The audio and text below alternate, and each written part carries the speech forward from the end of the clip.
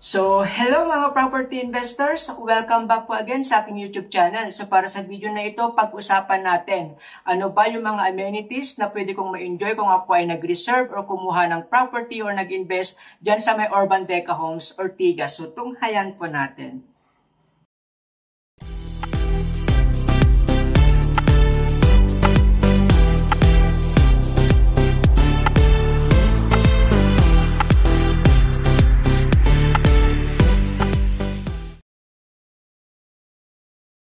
Ayan, so welcome mga property investors. Welcome po sa panibagong video na gagawin po natin dito po sa Urban Deca Homes Ortigas. So pag-usapan natin ang about amenities. Yan, tunghayan po natin.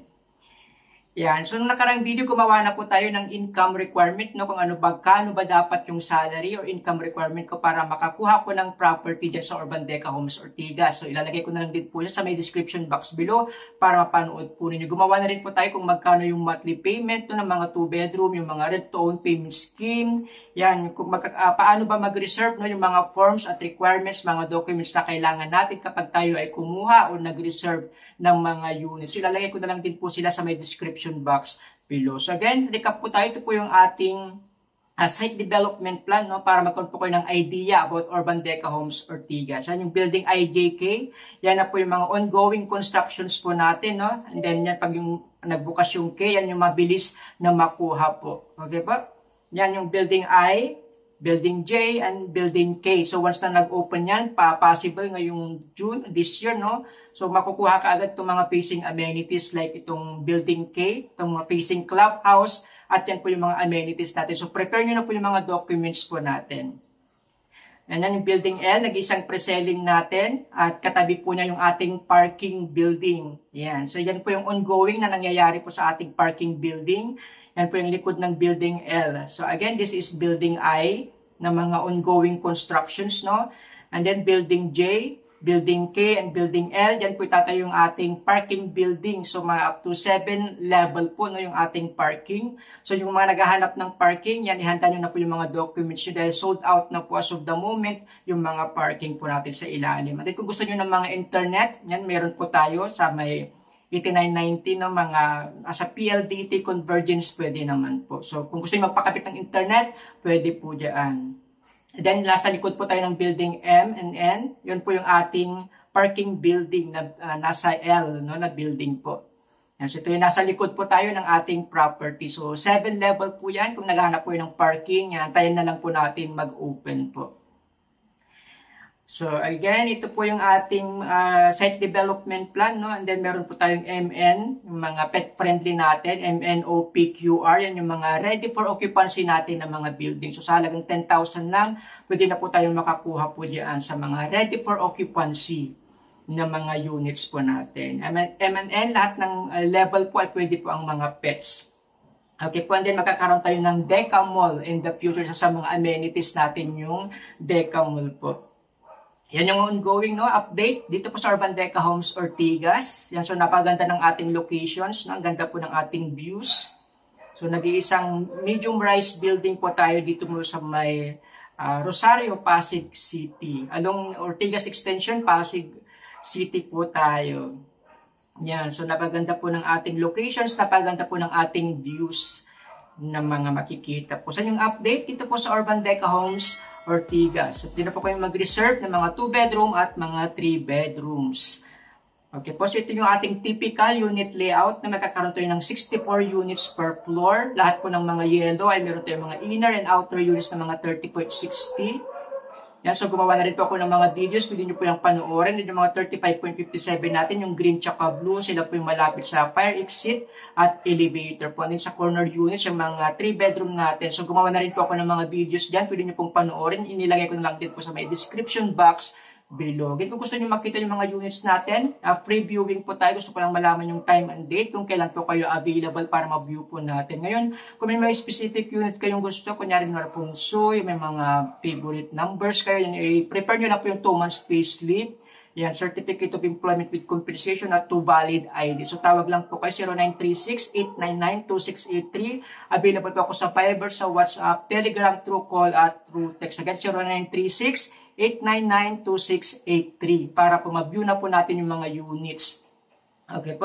Yan. Ito po yung ating site development plan na updated po, ongoing, no?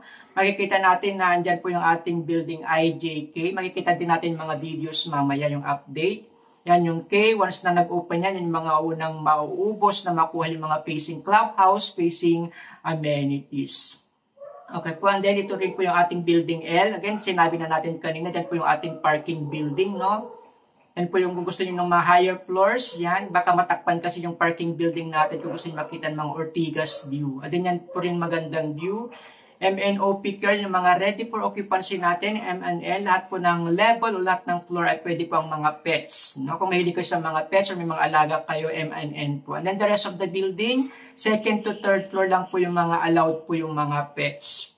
Yung makikita natin sa ating building, meron tayong atrium yung may butas sa gitna, yung tinatawag nating atrium or courtyard or inner units, more or less nasa 200,000 yung difference compared sa mga outer units. So, yan yung development as of the moment sa Urban Deca Homes Ortigas. Yan. Ito yung ating building I, building J, building K na ongoing constructions, and then building L, nag-isang pre-selling natin, M and N sa may likod ng clubhouse natin, no? yan mga pet friendly, and then OP, yung mga color blue, and then QR, yung mga color yellow po natin ng mga ready for occupancy ng mga building. Again, magkakaroon tayo ng MRT line for stations, no? Once na natapos po yan, magiging accessible na po yung ating property. So, 15.56 kilometer long po siya.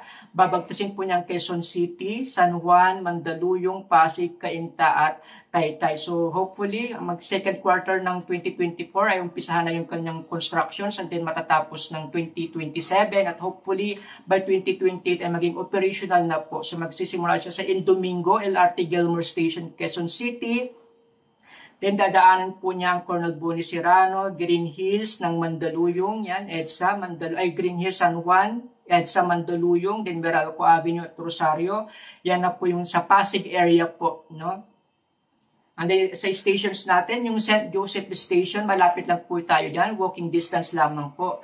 Ang Urban Deca Homes, Ortigas, at siyempre daranan niyang Kainta, Tikling, Manila East Road, at ang ating Taytay. So, 15.56 km long. Once na natapos po yan, magiging accessible na po tayo. Again, locations natin, along Ortigas Extension, Pasig City lang po tayo. No? Malapit na malapit lang po tayo sa SM City is Ortigas. Isang ride lang po tayo papuntang Ayala, Makati, Eastwood, Cubao, yan Gilmore, Green Hills, Mandaluyong Quiapo at part po ng ating Rizal area katulad ng Cainta, Taytay, Binangonan, Angonan, Tipolo, Teresa, Murong, Baras at Tanay. So napaka-accessible po ng ating locations in between ng Pasig at Cainta. So ano ba yung mga amenities natin? So pag-usapan natin yung ating mga amenities.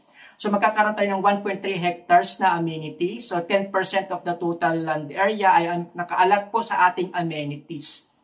So yan yung IJK, ongoing constructions, yan yung uh, ating clubhouse, yan yung ating outdoor gym, yan yung ating children's playground, meron tayong lagoon at dalawang basketball court. So isa-isahin po natin yan, uh, bigyan po natin ng mga actual videos po no, para makita natin yung mga amenities. So unang-una yung clubhouse po natin.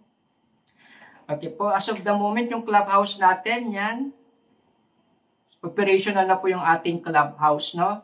Kung meron, kung gusto niyo mag-conduct ng mga meeting, yan, may makakilala kayo or kausap, yan, pwede sa, tayo sa Kara and Kai. Mahilig ko yung mag-coffee, parang siya yung pinaka-Starbucks natin sa loob. No? Kung may mga meeting kayo, may mga important na kausaping mga tao, pwede niyo po yan dalhin at mag-coffee po. Okay po. And then meron din tayong Alpha Mart no kung gusto niyo mag-shopping or bumili ng mga kailangan po ninyo. Yan, para hindi na po kayo lumabas, pwede na po kayong bumili po diyan. So akyat po tayo sa may second floor para makita po natin yung ating clubhouse. So may hotspot area din po sa area po natin. So puntahan natin yung second floor. Ano ba yung makikita natin sa second floor? Kung kunyaring aakyat po tayo, pupuntahan po natin yung second floor. So, ito po yung ating second floor, no? Another room. Kung gusto nyo i-rent yung mga space, kung gusto may mga event po kayo, yan, may kasal, binyag, pwede po natin i-rent yan. So, dyan sa floor na rin po yan, mala, uh, malatagpan yung PMO po natin, o Property Management Office. Kung may makatanungan po kayo sa mga unit po ninyo, kung makakano ba yung rent, so pwede natin itanong po sa ating PMO office po. Then, naman tayo sa may third floor ng ating clubhouse.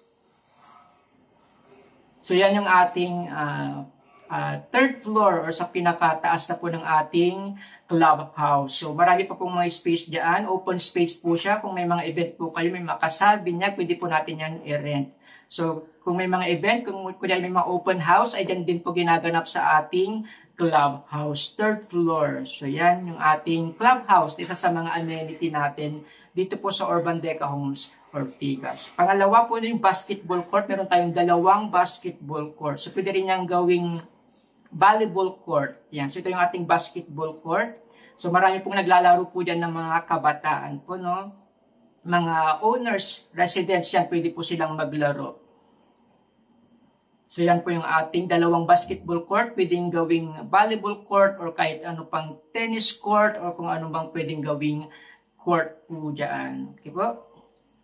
And then meron tayong tinatawag na atrium. Sila yung mga nasa gitna ng mga courtyard ng ating mga buildings. Para yung mga inner units, yan po yung magiging view po natin. Ito yung building M na atrium.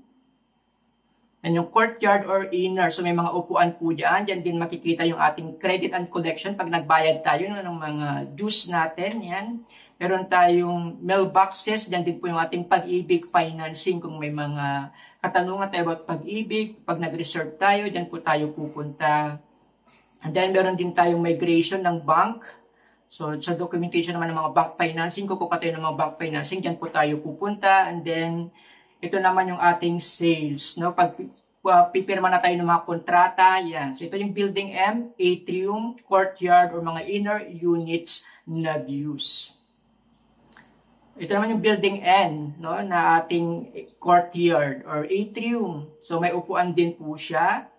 Yan po tayo kumukuha ng mga viewing stub no, kung gusto natin makita yung mga default units. So ito po yung ating view. Makikita po sa mga inner units. No? Kung kukuha tayo ng mga inner units, more or less nasa 200,000 yung difference. Naman yung building O, color blue.